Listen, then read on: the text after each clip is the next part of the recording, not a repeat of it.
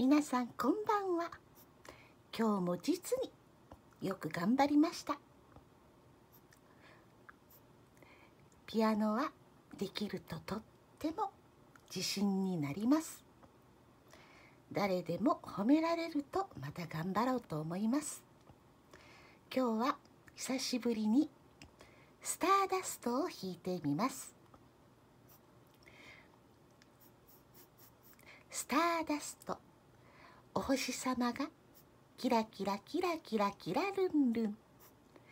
輝いている様子をイメージして弾いてみます。スターダスト。